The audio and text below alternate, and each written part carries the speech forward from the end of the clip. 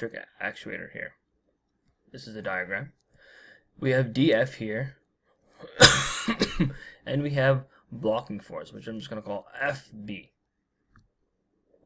I said that for the for the single piezoelectric material, voltage times the piezoelectric D coefficient is the free displacement, which is going to be here. Right? So, uh, if we have that piezoelectric material, and then we put another and we put a mass on top of it, let's say, that that block that uh force that free displacement is now going to be less, right? Because you put a force on it. Therefore, when it wants to expand, it's not going to expand to the exact same position. So we're going to have a reduced free displacement once you put that mass on there.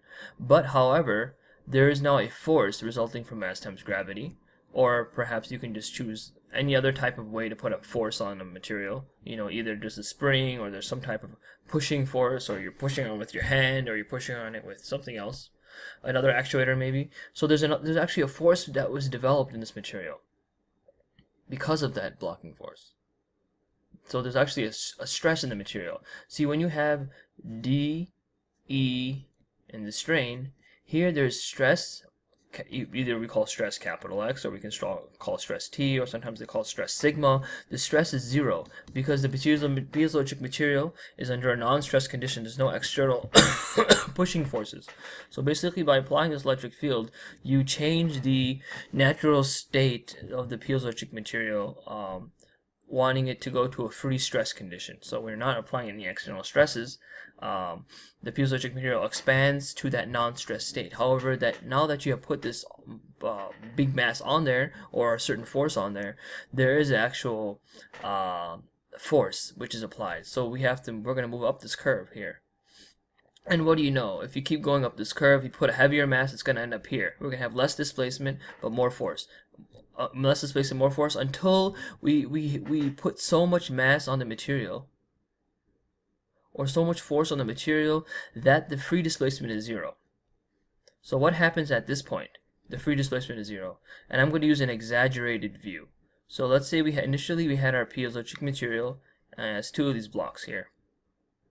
This is just written for size, you know, polarization like that. And we have our mass here. So we didn't put our mass on there yet. This is a really heavy mass, mass times g.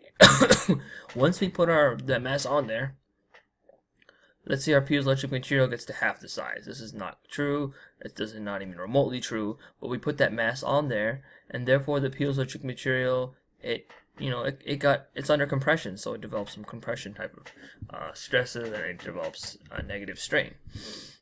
And then we apply an electric field on the material.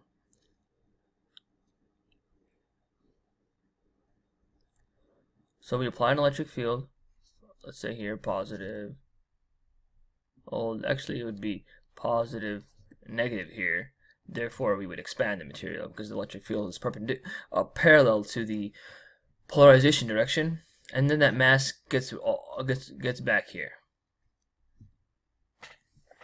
Now, uh, for a certain, uh, you know, for a certain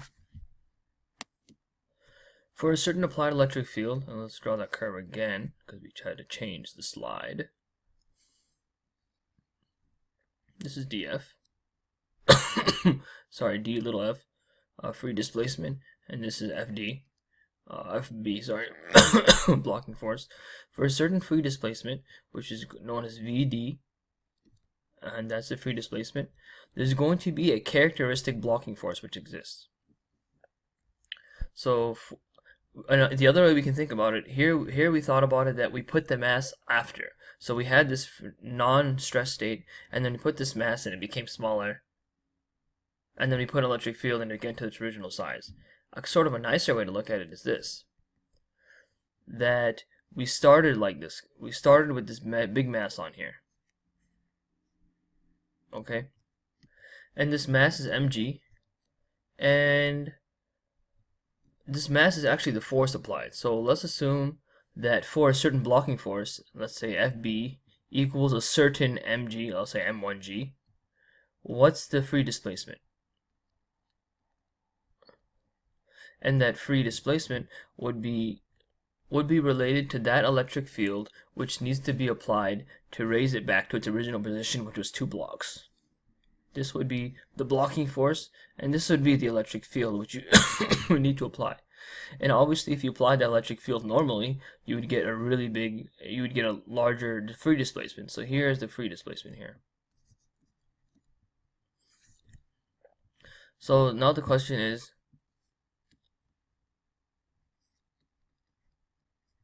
given the mass which is put on, which is basically a force, mass times gravity, given this mass, uh, and assuming that is the blocking force, which it's going to be if you're going to be using this mass, what is the free displacement? So in order to do this, we need to go to the piezoelectric constitutive equation, which says that stress is equal to uh, we're just going to use these notations here. And uh, we have a stress applied, which I'm going to call T. T is a nicer word place for stress. So, and we're gonna we're gonna add our D times E. And this is all 3, 3, and this is electric fields behind the 3 direction. Stress is 3, 3. Okay, I usually leave those out when it's obvious. So we want a strain of 0 okay? And let's say the cross-sectional area of this is A. So we have our piezoelectric material looking like this. And let's say this is the, this is the cross-sectional area A, this is the length L, which we've always been using. L is as long as L. Okay, so what is the stress now? The stress is the mass times gravity, or let's just call it the blocking force. That's the blocking force divided by area. So S33 E force, blocking force divided by area. And uh, now we have our electric field here.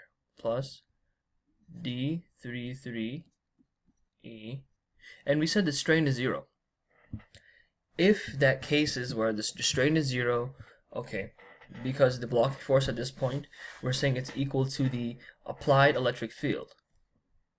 When the electric field has to be what? It has to be in voltage terms because we're talking about this on a macroscopic level, which is equally applicable to uh, piezoelectric actuators and single uh, plates and multi-layer systems too.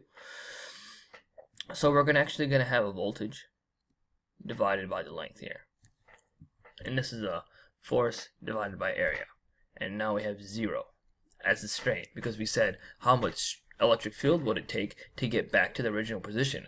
And that uh, is the blocking force and that is also uh, the voltage which is correspond to the free displacement. So what voltage would it take to uh, create this blocking force?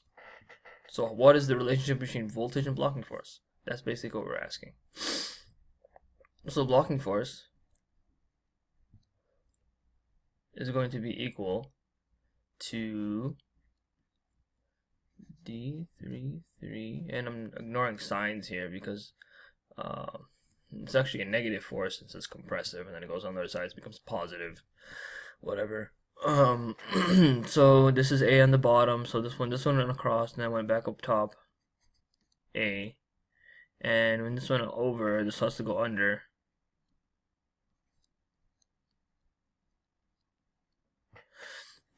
So here you have it. Here you have uh, the calculation for the blocking force of a piezoelectric material.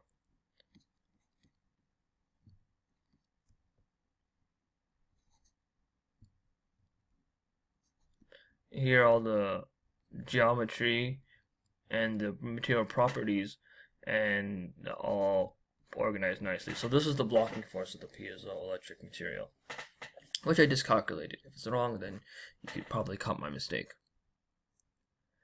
So you notice the blocking force depends on voltage. Okay, so what is the corresponding now free displacement according to this blocking force? So what's the dF? So we're going to have to remember this terminology. It's uh, d ds dVA SL. Okay, d V A as L. I'm just going to leave it these simple terms. This is equal to the blocking force. so the free displacement, again, was equal to voltage times D. So let's make this easier for us. Um, FB SL D A equals the voltage. For a certain voltage, this is uh, this is this is all true. So therefore, we put this in here. We get a relationship between the blocking force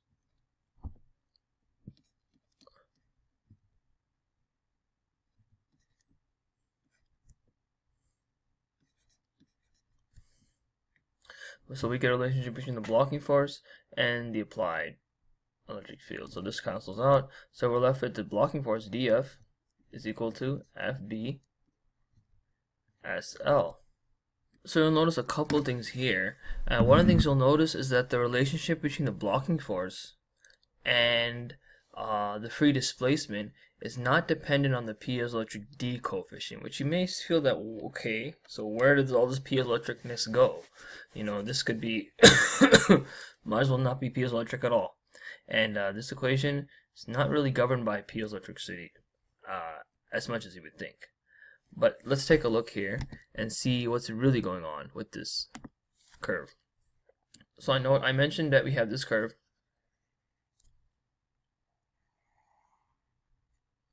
Here we have DF, and here we have FB, blocking force. So for a given voltage applied, let's say this is voltage 1, voltage equals 1.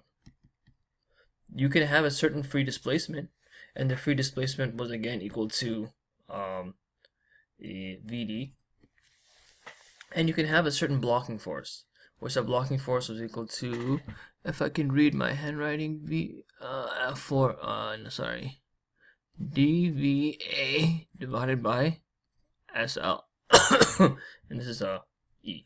So this is the so for a certain voltage. But if you increase your voltage, you increase your blocking force uh, applied force ratio. So basically, if you double your voltage, you will double the amount of uh, displacement you could get if you let the actuator completely free and you also double the force you could get if you completely constrained uh, the force or rather sorry completely const constrain the material.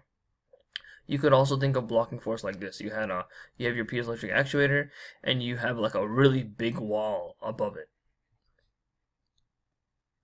for a certain force for a certain electric field you, you apply there's a really big wall it's not going to move at all so for for a certain voltage difference, potential difference you apply, there's a certain uh, you know, there's a generated force or generated stress in the material due to that electric field. Uh, therefore, due to that generated stress, you develop this um, blocking. You, you develop a stress, and that stress is indicative of the blocking force itself as well. Uh, so basically, by moving, uh, by increasing the voltage, you can move to a new line here. By increasing the voltage further, you travel further down this way. But if you have your voltage constrained, uh, you can you have to travel along this line. Depending on the load and the force you have on your applying your material for the and, and that certain voltage, you will either be on some point on this line. Okay, so if you apply a very large, uh, if you have a very light force on your material, like you let's say you put your you have your piezoelectric material and you you have a feather on top of it. Obviously the feather has some finite weight. It's going to constrain the motion of the piezoelectric material a little bit. It's a feather. It has a has a finite weight. So it'll be like right there. Let's say if you have something larger it'll be right here. And if you have something even larger it'll be right there. And if you have an extremely heavy mass or something uh well you'll you'll end up on this side actually but if let's say you completely constrain your piezoelectric material it won't even move uh, it will just produce a force, like in this case. Uh, this big wall or big mass is not moving anywhere. Uh, it's going to be there. So depending on the force you have on your piezoelectric material, you can think about it as a mass on your piezoelectric material, you will move along this curve here. And let's say if you applied a really big mass